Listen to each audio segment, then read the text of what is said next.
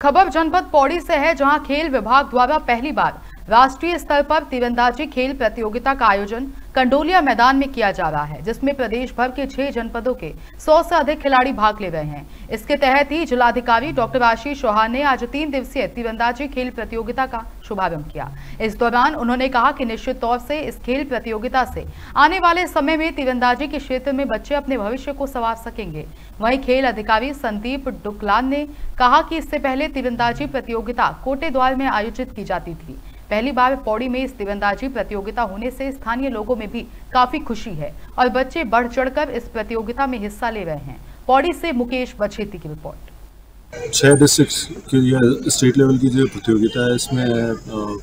राज्य के छः जनपदों के बच्चों ने प्रतिभाग किया और मैं इसके लिए डीएसओ साहब का और जो हमारी स्पोर्ट्स की टीम है, उसको बहुत सारा धन्यवाद करता हूँ कि उन्होंने इस एक पॉजिटिव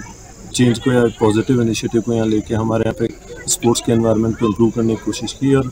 आ, मैं उम्मीद करता हूँ कि बच्चे जो ट्रेनिंग ले रहे हैं विभिन्न डिस्ट्रिक्ट्स में या इवन हमारे यहाँ पे भी वो बेटर परफॉर्मेंसेस करके स्टेट और नेशनल लेवल पे या फिर फर्दर इंटरनेशनल लेवल पे अपनी पहचान बनाएँगे। तीन दिवसीय तीरंदाजी प्रतियोगिता का आयोजन किया जा रहा है जिसमें छः हमारे जो डिस्ट्रिक्ट हैं उनके 105 बालक बालिकाएँ प्रतिभा कर रही हैं और हमने यहाँ पे छोटे बच्चों से लेकर बड़े बच्चों तक तो की तीरंदाजी प्रतियोगिता रखी है जिसमें अंडर टेन अंडर फिफ्टीन और जूनियर बालक जो कि अंडर ट्वेंटी होते हैं इनका